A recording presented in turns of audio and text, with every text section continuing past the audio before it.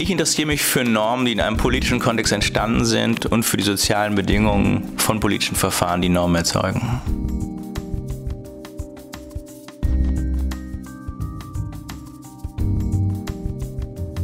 Das Faszinierende an Normen ist ja, dass sie auch dann noch gelten, wenn sie gebrochen werden.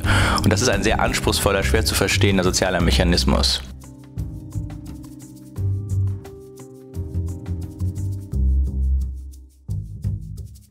Gibt einfach teilweise wirklich Rechtsprobleme. Da geht es dann wirklich darum, dass wir mit einem Sachverhalt konfrontiert werden und nochmal überlegen, wie können wir den sagen, mit der vorhandenen juristischen Begrifflichkeit rekonstruieren, was ist möglich rechtlich, was ist nicht möglich.